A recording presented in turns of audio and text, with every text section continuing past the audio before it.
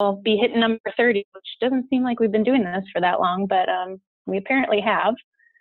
And today um, we're going to have a presenter, Jen Dougherty from USDA AMS, to talk about the USDA Harmonized and Harmonized Plus um, GAPS audits.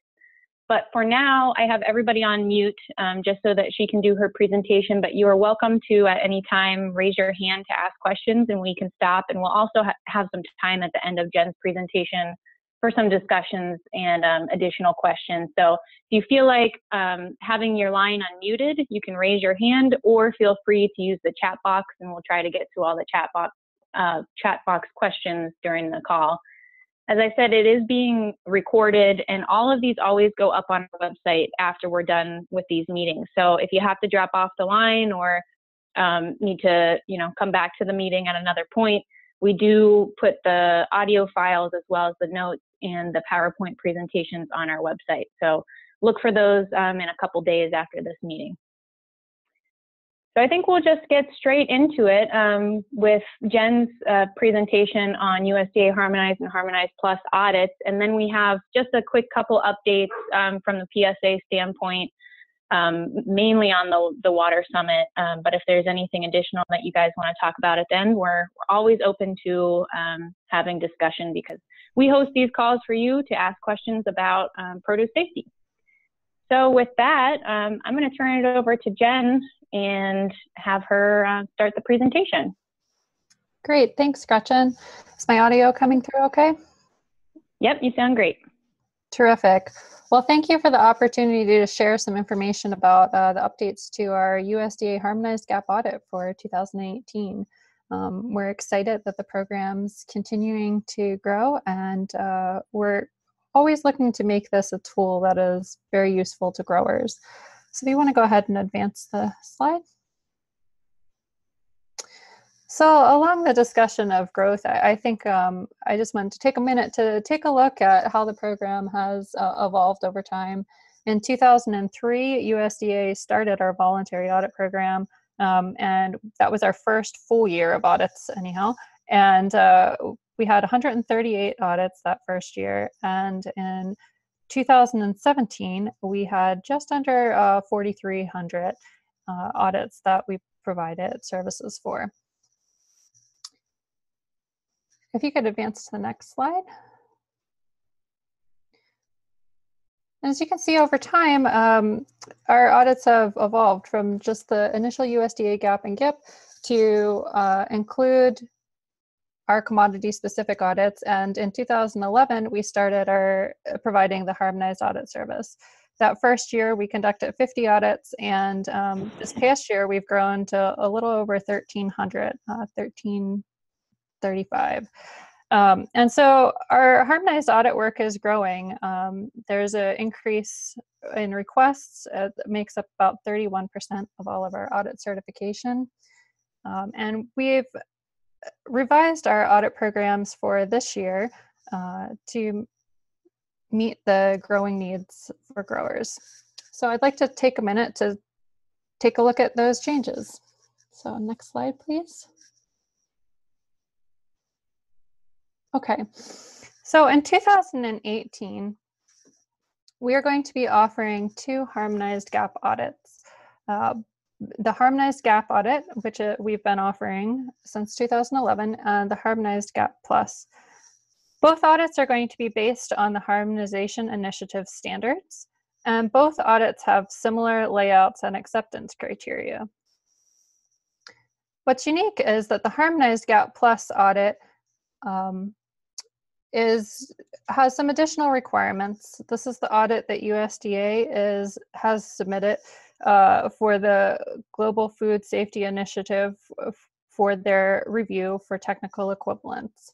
Um, and we just recently submitted our application and that's going in the process of being reviewed. So this audit has additional requirements to be inclusive of the GFSI benchmarking requirements and guidance document version 7.1, part 3. And we're looking for technical equivalents in the sections for B1, farming of plants, B2, farming of grains and pulses, and D, pre-processing handling of plant products. All right, next slide, please. All right, so the new materials that we're going to come out with are the USDA Harmonized GAP Plus audit and uh, associated reference materials. What we're revising is the USDA Harmonized GAP Standard and Checklist. And I'm going to take some time today to talk about the changes uh, for each of those materials. All right, next slide. All right, so first let's take some time to talk about the USDA Harmonized GAP standard. What we've done is that the USDA uh, to, took a look at the harmonized standards that we were currently using, and we decided that this was going to be the year that we combined these standards into one standard. Um, and we published this new standard on January 5th, so it's very new. Um, it is currently available on the USDA website. And the standard will not be effective until May 1st, 2018. So that means for any auditees that are using this audit standard or have requested the harmonized audit prior to May 1st, 2018, um, the previous version of this checklist can be used throughout the growing season for 2018 for all unannounced audits. Um, they're going to be based on the same criteria as the initial audit for the year. So this standard was reorganized to combine the field operations and harvest and post-harvest operations standards. No changes have been made to the requirements of this standard, but it has been reorganized to increase audit efficiency for those operations who are growing and packing. Um, where both are being audited, there were a number of questions that overlap.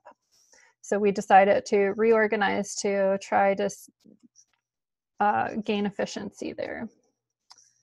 So let's go ahead and look at the next slide. So there are four scopes for the harmonized GAP standard. It's broken down into four sections. The first is the general questions section. Um, each of those questions are going to be designated with a G, and this section is required for all audits.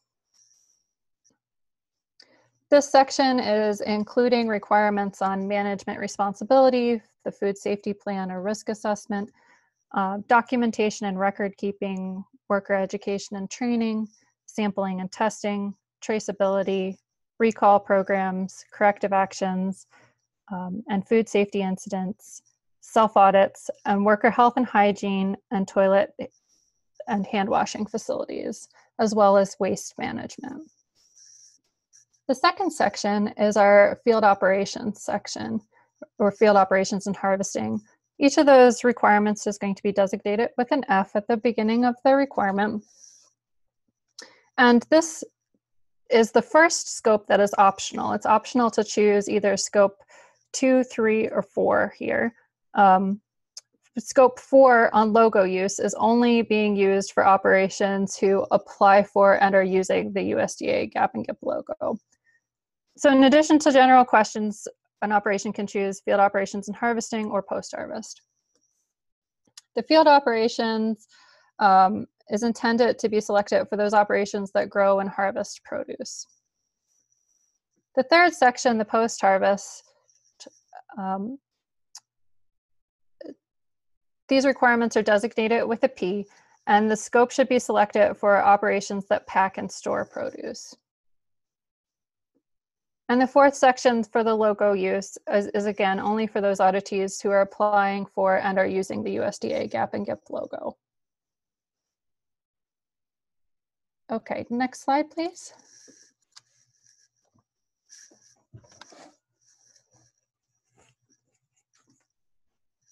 So one of the major changes you're going to notice is with the layout of our standard. We have added columns to make this standard user friendly to align with what USDA's acceptance criteria and documentation requirements are.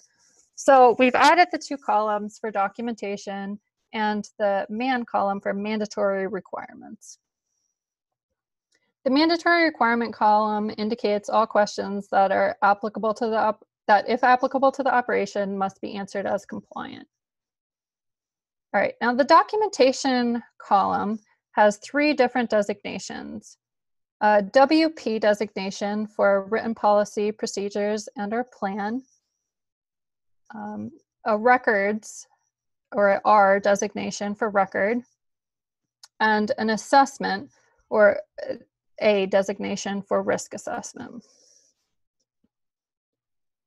So for the WP designation, um, a policy is a high-level guidance that describes general goals and acceptable procedures for an organization.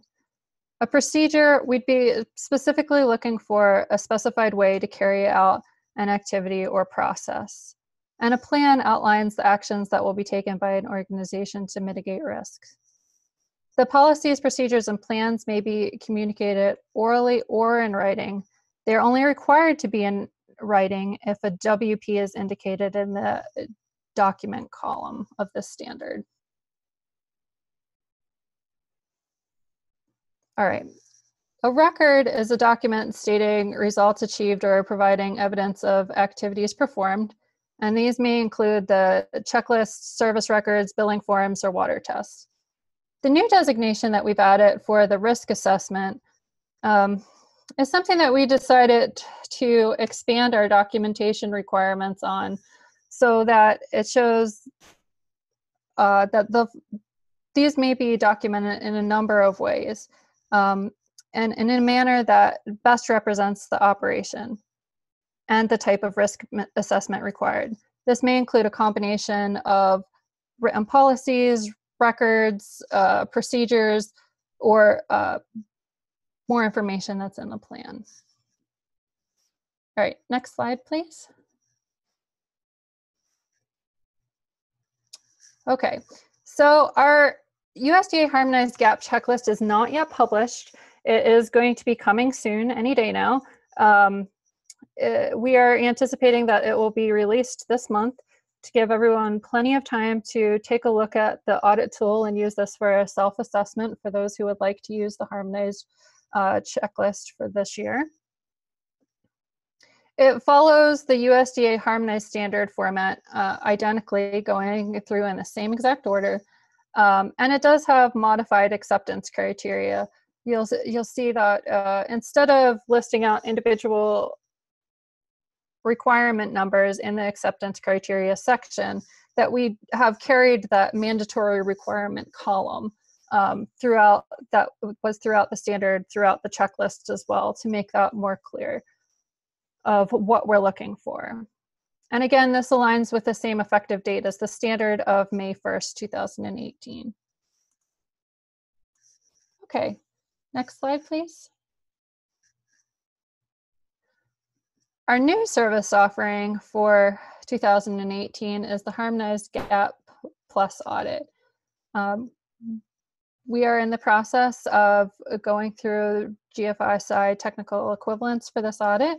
Um, and it's similar to the USDA harmonized gap audit, but with those additional requirements to align with the GFSI benchmarking criteria. The target implementation date for this audit is May 1st, 2018. So let's take a look at where the additional requirements have been added. If you could switch to the next slide. Great, thanks Gretchen. All right, so for the additional requirements, in the general questions requirements, some additional requirements have been added for organizational structure, food safety plan review, um, more detailed supplier requirements, storage of records, um, product identification and labeling, corrective action and food safety incident management, and these next two are completely new sections for food defense and food fraud. Now, you will notice that for those um, educators who have been working with auditees who have been using the global markets addendum portion of the harmonized audit, that a lot of these topic areas are very similar. And many of the questions that were in the global markets addendum are in these um, general question requirements. So they will be very similar, if not the same, uh, when you take a look at the specific requirements here. Okay, next slide. Okay, so uh, other additional requirements in the field operations and harvesting section, We've added requirements for the risk assessment of each production area prior to harvest. Additional agricultural, chemical, and plant protection products requirements. Um, just to note, a lot of these are practices that have already been implemented throughout an oper operation, but it's something that we now are including as part of the audit verification. Um, the other additional requirements is the maintenance and calibration of equipment and instruments that impact food safety and product re release procedures. Next slide, please.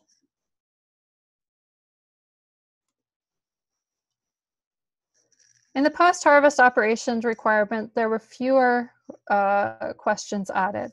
We added questions for uh, the risk assessment of the packing house itself, a HACCP plan only if critical control points were identified in the risk assessment, and uh, requirements for medical metal detection equipment if utilized. All right, next slide, please. All right.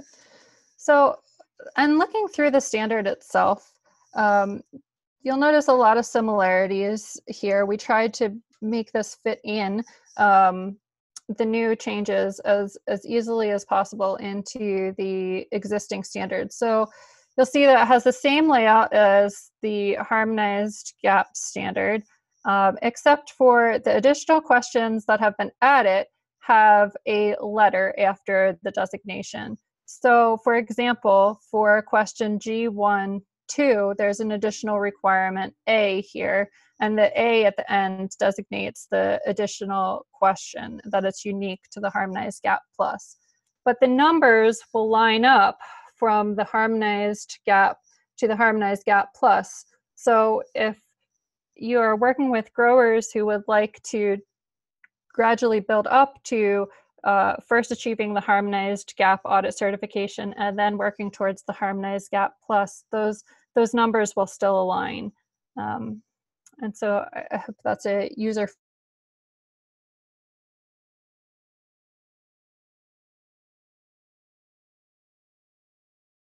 Nope, it's going now. Okay. Uh, Jen, we had you on slide, uh, I think you were right, you were on the A1, right here uh, where it said G1A. Hang on. There it is. All right. Okay, so if you can go to the slide below that, that would be great. Okay. There you go. How about that? Terrific. Um, and this is one of the, the sections I'm actually uh, most excited to talk about is, um, you know, with all these new changes, of course, there's a lot of adjustments to make, and um, we're we're working on a number of tools to share to make the any transition easier. Um, one of the things that we are working on getting out that should go out at the same time as the checklists is an equivalency matrix, uh, which includes a summary of all the changes. So, um, what this is going to include is a correlation of the original requirement numbers, so what was in the individualized standards, um, to the new requirement number to make that transition easier. So if folks don't have time to update materials before this season, they can see where it aligns. Um, and just a summary of the changes for each of the sections. Um, we have also made some efforts to uh, show where the alignment occurs with the um, produce safety rule. Uh, the other resource, which will be out later in the year, is the Harmonized Guidance Manual. We have had a harmonized auditor manual, and uh, that has included examples of interpretation um, of the standard just, just to provide some additional context.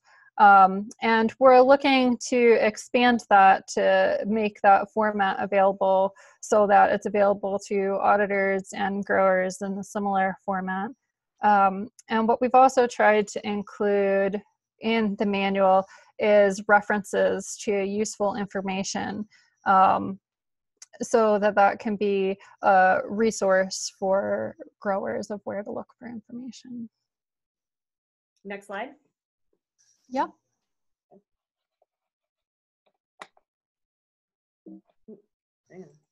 Okay. All right. So that's what I had to share. Um, as always, this is a, a tool that we want to make user friendly. So if you have an example or a question, um, relate it to any of our USDA audit materials, please feel free to uh, contact me um, or our audit program because we would like to continue to make this a very user friendly tool and program. So at this point, uh, does anyone have any questions? Okay. All right. Um, anybody have any questions? I am trying to get to the chat box to see if I can. Um, Hey, this is Donna Pahl Produce Safety Alliance. I received a private question. For some reason, uh, Cal was not able to answer it or ask it publicly, but he was wondering um, if, so it looks like the harmonized gap is in alignment with FSMA. Can you speak a little bit about how it might suffice, you know, in suffice in place of an inspection or how, what, what essentially that alignment means? There's been a couple of questions on that. Sure. So um, the product safety regulation is a regulation, so an audit is not going to replace an inspection. Um, what we were looking to do when uh, I mentioned the alignment was to take a look at our requirements to making sure that there are uh, similar requirements in our audit that what would be looked for um, in the requirements of the produce safety regulation. So I think um, the other thing here, I think to say is that FDA did come out with um, an announcement uh, a, a while ago saying that they were still looking at whether or not they were going to take people's audits in consideration when they were trying to figure out which farms to visit, um, which isn't really a, a Jen thing. Um, I also think many of the states because of the cap grants are tasked with enforcement. So even if, if FDA said that, we're not sure what that would mean at the state level, and perhaps that's what's motivating this kind of question.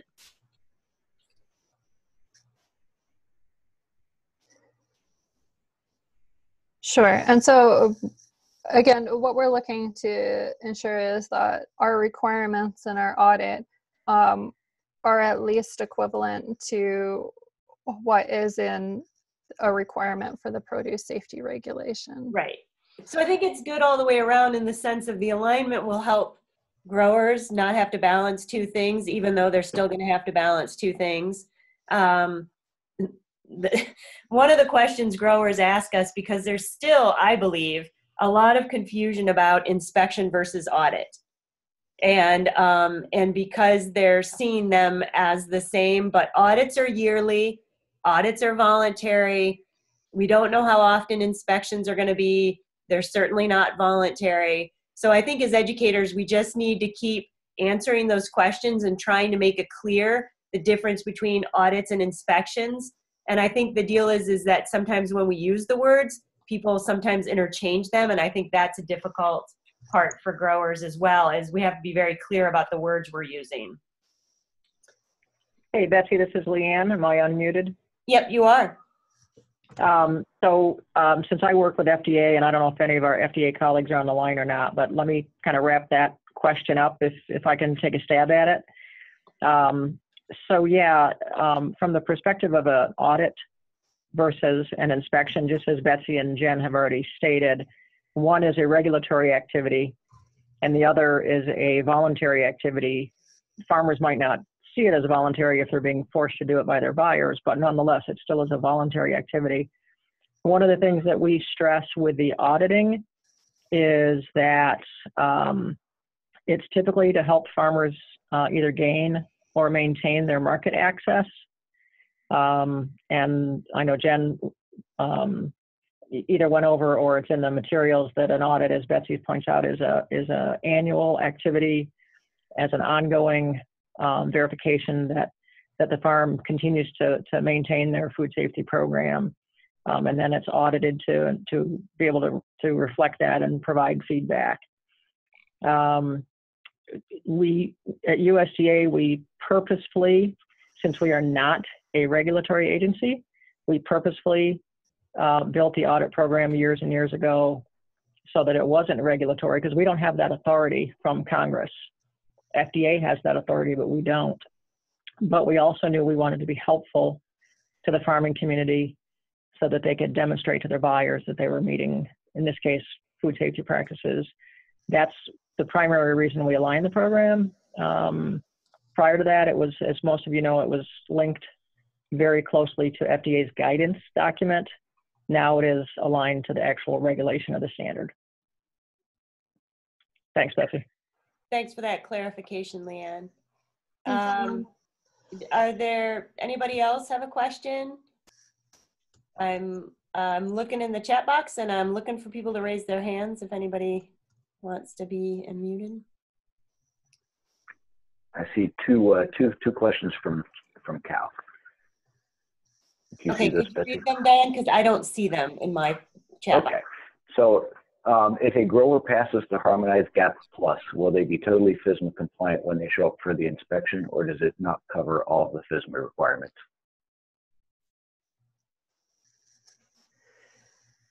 So, great question. Um, the audit is going to be separate from an inspection, but we're looking to make sure that the same base information is verified. Um, so, part of what we're looking at is to make sure that we do cover those areas that are mentioned in the produce safety regulation. But an And audit does not replace an inspection. Jen, this is Leanne. Let me, let me add a little bit too. Um, we, we use the term FSMA compliant quite, quite frequently. Um, I think what the question actually asked is, are you compliant with the produce safety rule?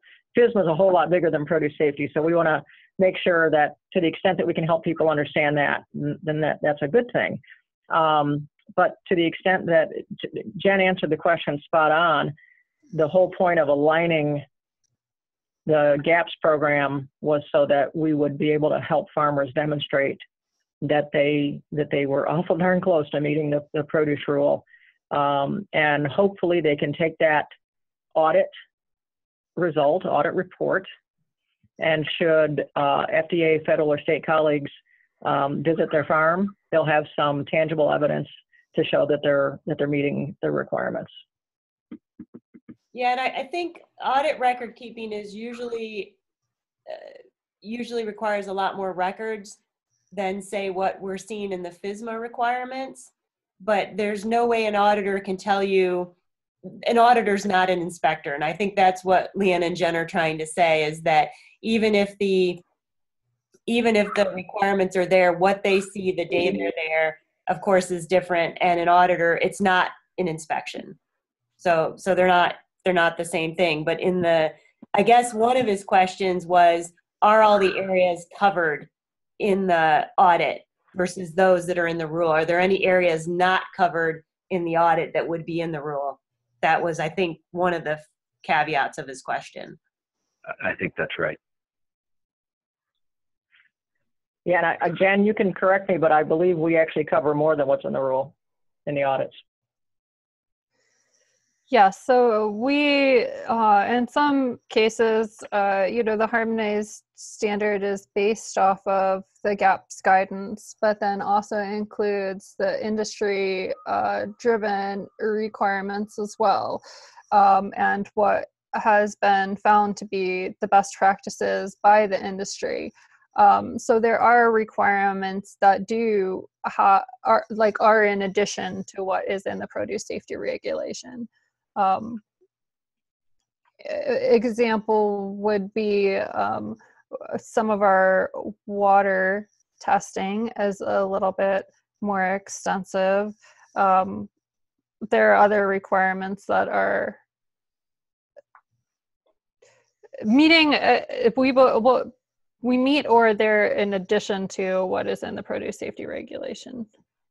Yeah, and I mean with the With the PSRs, the for instance, the soil amendments section is is reserved, and I think it's one of those things that we have to assume things will evolve as we continue to understand implementation. Correct, correct. And as that implementation comes, the alignment will continue. There's going to be additional guidance that's put out, and as that guidance is put out, we will continue to work to align our requirements with what's in the regulation. Right. Um, Don, you said there was another question in there? Uh, yeah, I did. These, um, and, and I, for, I wanted to thank Leanne for pointing out that uh, FSMA doesn't is, is more than just the produce safety rule. We we did mean to mislead with that question. Um, Louisa Castro asked the question about whether there will be online training on the new standards to go alongside the uh, checklists, both the harmonized GAP and the GAP plus. So there will not be an online industry training that is provided through USDA for the new standards. Um, we don't provide training to the standards which we audit to, um, but certainly there is the ability to take this information and to incorporate it into trainings. I know um, there's a lot of great extension workshops and um, education sessions that are held which incorporate uh, how to implement a food safety plan and this would be a, a great incorporation into those materials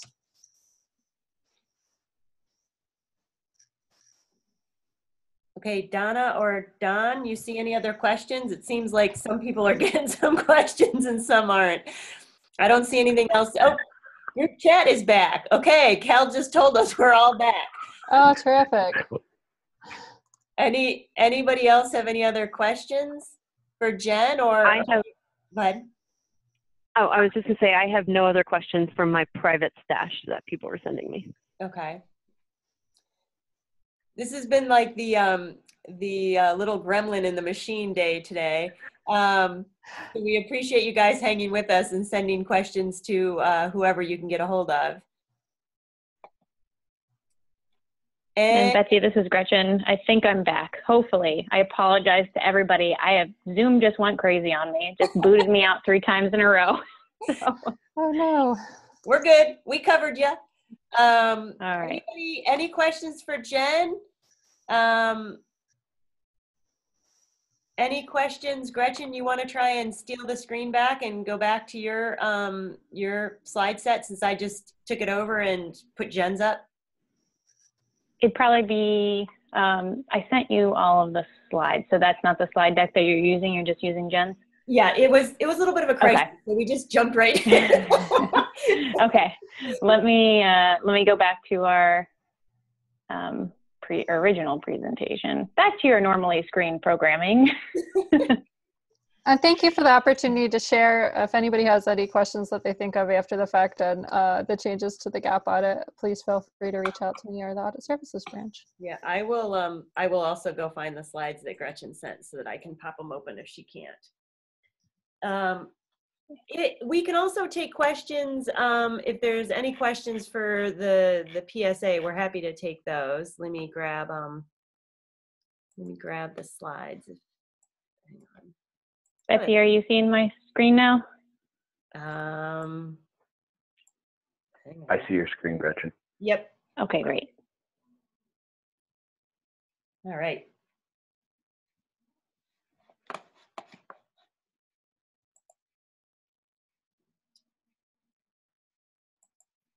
Oh, that's me. Can everybody see those? Did we lose Gretchen again? Betsy, I'm the one that, nope, I'm here. Okay. Okay. Go ahead then. Are we all done with questions for Jen's presentation then and um, discussion on the harmonized audits? Uh, Yeah. There are two more questions in the chat box if you want to do those. Okay. Okay, it's not letting me pull those up. So. Okay, I'll go, I'll go with those. I can see them. Um, if we have audit questions, should we contact audits or Jen directly? sorry i just muted um, either one is fine Okay. And our second question is Jen mentioned a harmonized gaps manual with interpretations. Would this be helpful in developing FDA guidance? Insights?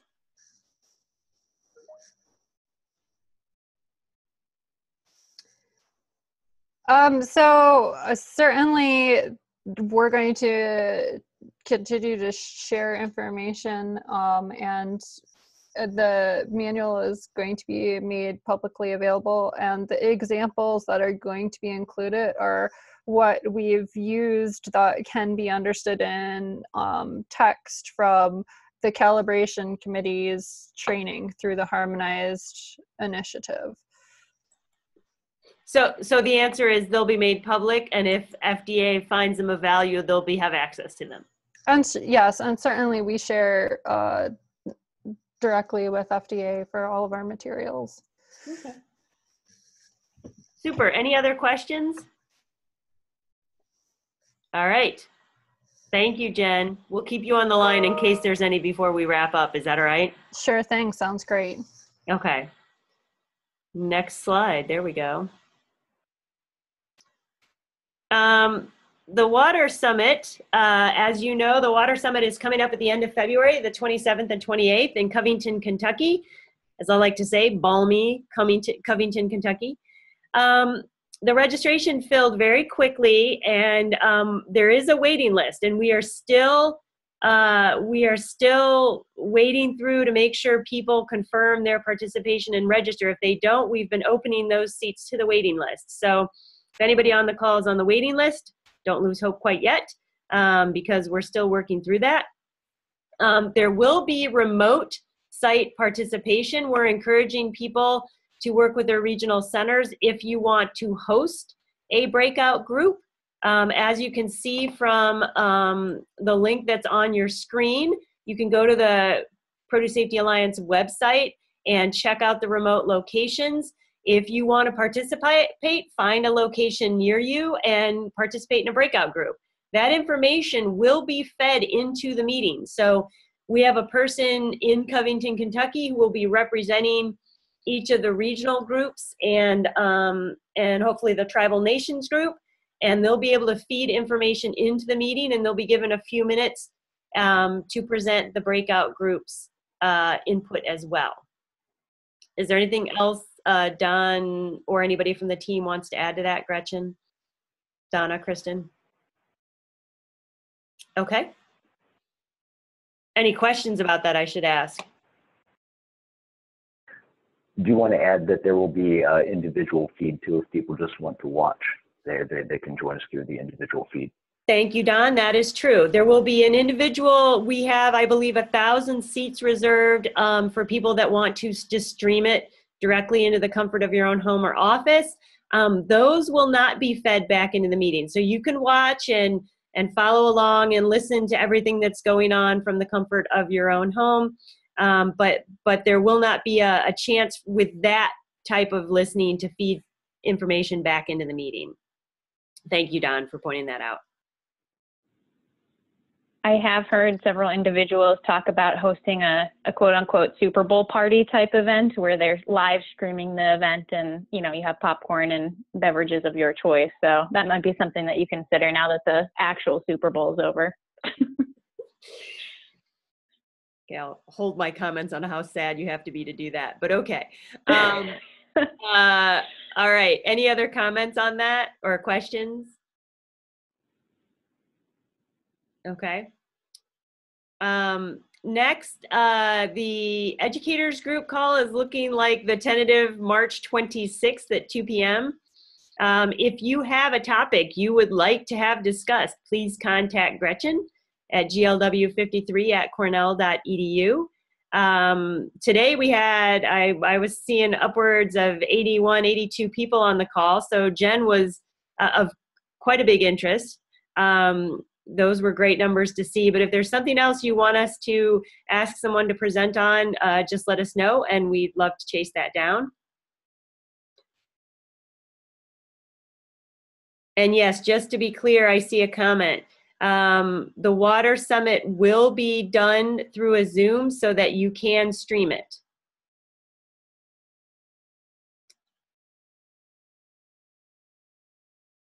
Any other questions? Comments? Oh, there's a new one. Okay, so there was a question about uh, the remote locations in four regions. And again, the, the tribal nations will funnel their input into the Cincinnati meeting.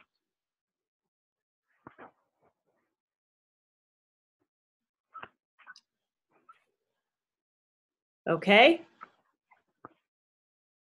Jen, I will ask you if you have any last minute. Oh, I should go to the next one. Sorry. I'm, I'm getting ahead of myself. Next slide there, Gretchen. As always, the Produce Safety Alliance website. Um, like us on Facebook. Connie's been doing a great job uh, getting us a Twitter following. Um, if you have not joined the listserv, please join the listserv. I talked to somebody the other day who had not signed up, but they knew what we were doing, so somebody must have been sending it to them. Um, but if you haven't, please do join up. There's a lot of information about the Water Summit at the website, so just visit there if you have any questions. Um, please do use the website. A lot of good information, a lot of good educational materials. We've been updating um, under the resources tab as well as the trainer resources tab. Next slide. All right. Um, Jen, I'm going to give you uh, option of any last words. Just thank you again for the opportunity to participate and um, feel free to reach out if there are any additional questions or concerns. I think it was very interesting. I think for those of us that have doing have been working with growers to do farm food safety plan writing workshops using our template, as we all just noticed, we're going to have to go through and update that. so, uh, so we put that on the to-do list, and um, really appreciate uh, you being on, Jen. Um, as I said, there was a bunch of interest today. Um, Gretchen, Don, Kristen, Donna, any other thoughts that we need to share? I don't have anything to add. This is Gretchen. I apologize again for the technical issues, and I'm hoping that didn't impact the recording, but we'll do our best. We'll get the slides up and at least the notes um, in case the recording didn't uh, pull through. But again, sorry about that. Let's just hope that doesn't happen during the water summit. Uh, so just one thought too, and if, if you are working on realigning educational materials, uh, I hope that you'll take a look at the summary of change document that should be out any day now. Um, I think that'll be a really great resource because we've we've made the correlation to where things would be in current references to where they'll be in the new the new version. So hopefully that'll help um, make that process faster. That is an excellent point. That is an excellent point. So the materials, including that change log, are not yet out, but they will be coming, and that change log will be very helpful. Is that correct? Yes, the summary of changes is what's not out, and the checklists aren't out, but the standards are up. Okay. So, any day now. Any day now. No, that that's really helpful. We just had a discussion about it uh, this past week because there's obviously it's winter for us, and we do a lot of farm food safety plan writing workshops this time of the year. Yeah, I think that'll that'll be helpful um, versus having to go through and do the comparison all over again. We we've put it in a table, and that'll be out shortly. Super. Anything else? All right. As always, we really appreciate your guys' time. There's a lot of people on the call and a lot of um, a lot of uh, effort and uh, time to commit to these things. So I appreciate everyone's time. Um, no worries, Gretchen. Uh, can't control technology. So uh, thanks to everybody on the team for sending out those little texts and making sure we converted over quickly. Um, with that, um, hope you all have a good afternoon.